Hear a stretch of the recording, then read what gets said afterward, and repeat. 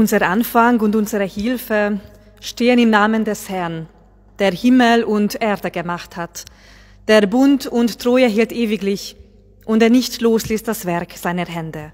Amen. Liebe Zuhörerinnen und Zuhörer, liebe Gemeinde, herzlich willkommen zum Audiogottesdienst aus der reformierten Stadtkirche und zugleich zum Gottesdienst bei Ihnen zu Hause oder wo und wie immer Sie diesen Gottesdienst hören, mitsingen oder mitbeten. Sie hören Pfarrerin Rico Juhas. An der Golini-Orgel unserer Kirche spielt heute Andrea Schneider. Zur Einstimmung haben Sie ein Präludium von Johann Fischer gehört. Ich bin gewiss, auch wenn wir nur auf diesem digitalen Weg Gottesdienst feiern, entstehen unsichtbare Verbindungen. Verbindungen zu Gott und zueinander. Verbindungen, durch die wir Stärkung und Segen erfahren dürfen. Wir feiern im Namen Gottes, des Vaters und des Sohnes und des Heiligen Geistes. Amen. Ewiger Gott, unsere Zeit liegt in deiner Hand. Du hast uns die Zeit zum Leben geschenkt. Hilf uns, jedem Tag sein eigenes Recht zu geben Lass uns das Schöne und das Schwere bewusst durchleben. Unsere Zeit hat ihre Grenzen, aber bei dir ist die Ewigkeit. Amen. Sie hören die Musik zum Lied Wo Menschen sich vergessen. Den Text finden Sie im Infofeld des YouTube-Kanals oder auf unserer Facebook-Seite. Ich lade Sie ein, liebe Zuhörerinnen und Zuhörer, das Lied mitzusingen oder mitzusummen.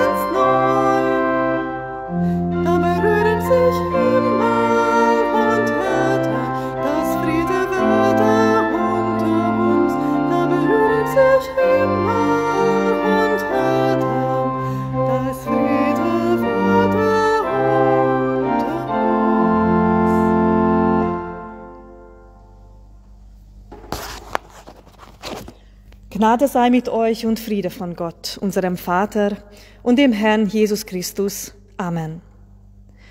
Unseren heutigen Predigtext lese ich aus dem Buch der Offenbarung aus ausgewählten Versen des zweiten Kapitels. Und dem Engel der Gemeinde in Smyrna schreibe, so spricht er, der Erste und der Letzte, der tot war und wieder lebendig wurde. Ich kenne deine Not und deine Armut, und doch bist du reich. Fürchte dich nicht vor dem, was dir an Leiden noch bevorsteht. Sei treu bis in den Tod, und ich werde dir die Krone des Lebens geben. Wer Ohren hat, der höre, was der Geist den Gemeinden sagt. Wer den Sieg erringt, dem wird der zweite Tod nichts anhaben können. Selig sind, die Gottes Wort hören und bewahren. Amen. Liebe Zuhörerinnen und Zuhörer, liebe Gemeinde, die heutige Predigt möchte ich all denen widmen, die mitten in dieser herausfordernden Zeit auch mit der Verlust eines geliebten Menschen herausfordert sind. Denn die Umstände der Pandemie machen die Trauer noch schwieriger und den Verlust noch unerträglicher. Doch unsere Aufgabe und noch mehr, unser Auftrag lautet jetzt, dennoch weiterzugehen. Mit Ehrfurcht vor dem Leben, dessen irdische Bahn irgendwann und irgendwie endet, doch gleichzeitig mit der Hoffnung und mit dem Vertrauen darauf, dass das Leben, egal durch welche, welche dunklen Tunneln seine Bahn hindurch muss, nie sinnlos und leer ist. Und unsere einzige Waffe gegen den Tod ist die Hoffnung. Die Hoffnung darauf, dass der Tod nur ein Tor ist. Ein Tor zu Gott, zu seinem Reich, durch das unsere Lebensbahn hindurchführen muss. Mir persönlich bedeuten und helfen die Worte von Dietrich Bonhoeffer sehr viel, die er einmal im Folgenden formulierte. Es gibt nichts, was uns die Abwesenheit eines uns lieben Menschen ersetzen kann. Und man soll das auch gar nicht versuchen. Man muss es einfach aushalten und durchhalten. Das klingt zunächst sehr hart, aber es ist doch zugleich ein großer Trost. Ferner, je schöner und voller die Erinnerungen, desto schwerer die Trennung. Aber die Dankbarkeit verwandelt die Qual der, Erinnerung in eine stille Freude. Man trägt das vergangene Schöne nicht wie einen Stachel, sondern wie ein kostbares Geschenk in sich. Man muss sich hüten, in den Erinnerungen zu wühlen, sich ihnen auszuliefern, wie man auch ein kostbares Geschenk nicht immerfort betrachtet, sondern nur zu besonderen Stunden und es sonst nur wie einen verborgenen Schatz, dessen man sich gewiss ist, besitzt. Dann geht eine dauernde Freude und Kraft von dem Vergangenen aus. Vom ersten Aufwachen bis zum Einschlafen müssen wir den anderen Menschen ganz und gar Gott befehlen und ihm überlassen und aus unseren Sorgen um den anderen Gebete für ihn werden lassen. So die Worte von Dietrich Bonhoeffer. Aushalten und durchhalten. Diese sind die Schlüsselbegriffe auch unseres heutigen Predigtextes aus dem Buch der Offenbarung. Der Autor, vermutlich Johannes, skizziert in seinem Buch einen Weg, auf dem dieses Aushalten und Durchhalten gelingen kann. In seinem Buch kommt der auferstandene Christus mehrmals zum Wort und richtet trostvolle Zusage an seine Gemeinden. Ich kenne deine Not und deine Armut, und doch bist du reich. Fürchte dich nicht, sei treu bis in den Tod. Der auferstandene Christus kennt die Seinen. Er geht mit uns mit. Und weil er mitgeht, egal wie unsere Lebensbahn führt, nichts geht verloren, nichts ist umsonst. Denn wer fähig ist, das Leid anzunehmen, kann darin auch eine besondere Nähe zu Gott erfahren. Und in dieser Nähe steckt eine besondere Reichheit. Wer auch in Not und Leid sein Vertrauen an Gott nicht verliert, der wird beschenkt mit Kraft und Hoffnung. Reich sein heißt hier, das Wesentliche, worauf es im Leben ankommt, begriffen zu haben. Ein weiterer zentraler Begriff unseres Predigtextes ist die Treue. Die Treue im biblischen Sinn hat zwei Aspekte. Es ist einerseits die menschliche Treue und die Verlässlichkeit, also die Treue zu Christus im Glauben. Andererseits ist hier auch die Treue von Christus zu uns gemeint, zu uns als zu seiner Gemeinde. Dieses Treusein bis zuletzt ist mit einer besonderen Fähigkeit verbunden. Nämlich wer treu ist, der ist fähig, sich festzumachen in dem, der trägt. Treue ist in diesem Sinne kein Zustand, sondern eine Handlung. Eine Handlung des Glaubens. Egal was passiert, ich halte mich an der Treue Gottes fest. An der Treue, die im Leben und Sterben standhält die an menschlicher Versäumnisse und Schuld nicht scheitert. In der Praxis ist diese Handlung auch als Vertrauen zu sehen. Vertrauen darauf, dass die Treue Gottes auch im Tod nicht abbricht, sondern neue Aussicht auf ein anderes, ewiges Leben mit Gott und in Gott macht. Doch liebe Zuhörerinnen und Zuhörer, wir Menschen haben schon mit dem Vertrauen auch eine andere Erfahrung gemacht, die uns fragen lässt, was denn, wenn das Vertrauen in Krisenzeiten vorübergehend oder ganz zu verschwinden scheint? Kann man dann handeln so, als ob man Vertrauen hätte? Ja, die Bibel lädt ausdrücklich dazu ein, an mehreren Stellen. Ein von den schönsten Beispielen ist für mich dazu der zweite Timotheusbrief des Apostels Paulus. Er schreibt seinen verzagten Mitarbeiter Folgendes. Lass das Feuer der Gabe Gottes, die doch in dir ist, wieder brennen. Denn Gott hat uns nicht einen Geist der Verzagtheit gegeben, sondern den Geist der Kraft und der Liebe und der Besonnenheit. Das heißt für mich, handle so, als ob du Vertrauen hättest. Schalte deinen Verstand ein und lasse den von der Tatsache bestimmt sein, dass Gott doch Vertrauen verdient. Auch wenn du es im Augenblick nicht oder noch nicht hast. Du wirst Kraft, Liebe und Besonnenheit, aber erst unterwegs erfahren. Dazu fehlt mir auch ein weiterer bekannter und anregender Spruch ein. Lebe, als würdest du morgen sterben. Lerne, als würdest du ewig leben. Denn es ist auch unsere Sehnsucht, dass das Schmerzvolle, das Unerträgliche, in Einführungszeichen morgen, also bald endet, dass das Schwere in unserem Leben nicht von Dauer ist.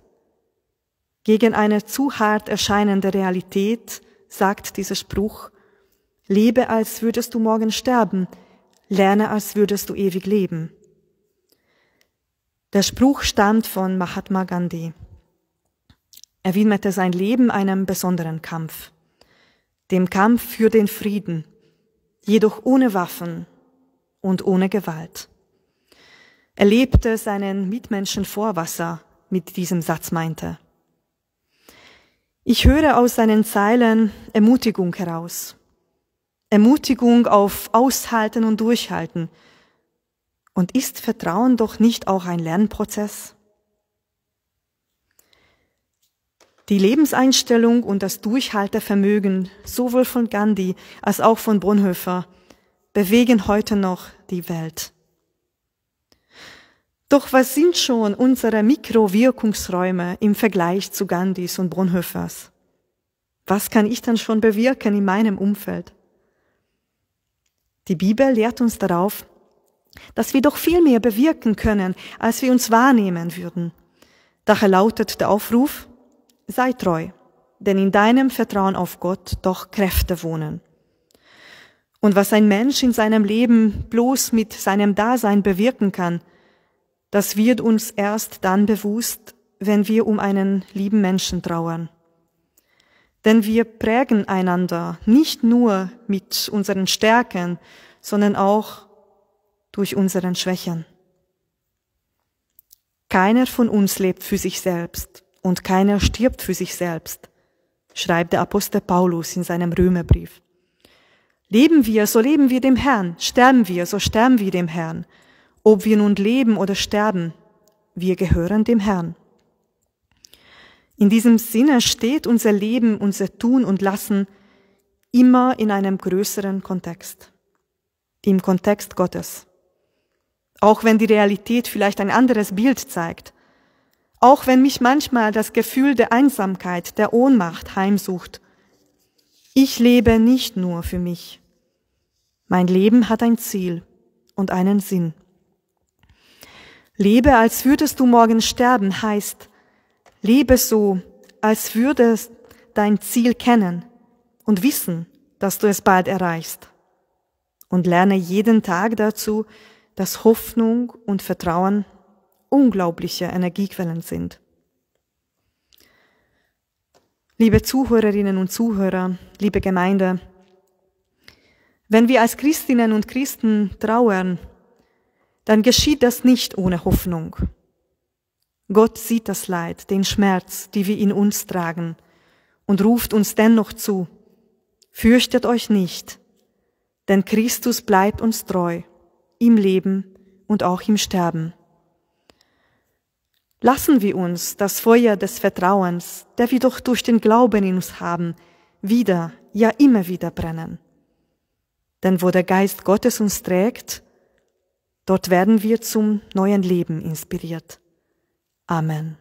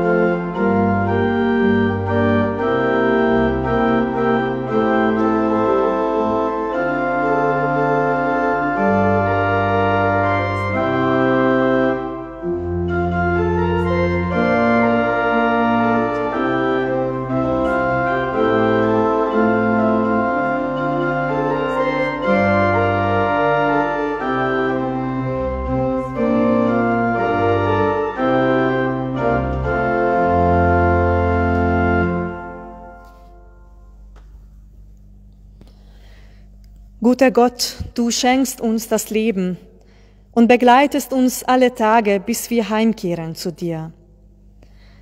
Wir denken an die Menschen, die vor uns gestorben sind, Menschen, die wir liebten und mit denen wir lebten, von denen uns der Abschied schwer gefallen ist und die uns fehlen.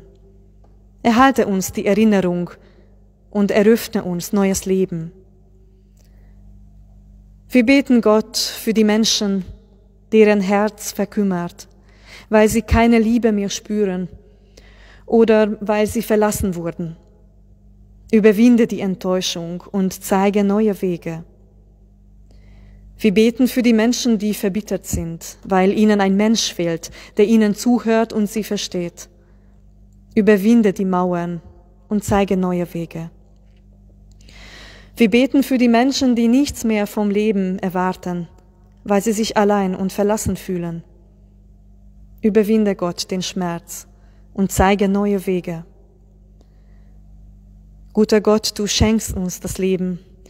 Lässt uns Erfahrungen sammeln, Beziehungen knüpfen, reifen und wachsen, alleine und mit anderen. Und eines Tages müssen wir alles dankbar zurücklegen in deine Hände. Wir wissen nicht, was uns erwartet, aber wir vertrauen auf dich, auf deine Gnade. Amen. Unser Vater im Himmel, geheiligt werde dein Name, dein Reich komme, dein Wille geschehe, wie im Himmel so auf Erden. Unser tägliches Brot gib uns heute und vergib uns unsere Schuld, wie auch wir vergeben unseren Schuldigern und führe uns nicht in Versuchung, sondern erlöse uns von dem Bösen. Denn dein ist das Reich und die Kraft und die Herrlichkeit in Ewigkeit. Amen. Gott segne uns und behüte uns. Gott lasse sein Angesicht leuchten über uns und sei uns gnädig. Gott erhebe sein Angesicht auf uns und gebe uns Frieden. Amen. Liebe Zuhörerinnen und Zuhörer, mit diesen Worten wünsche ich Ihnen viel Kraft und Mut für die vor uns liegende Woche. Zum Schluss hören Sie Impressions von Michael Schütz.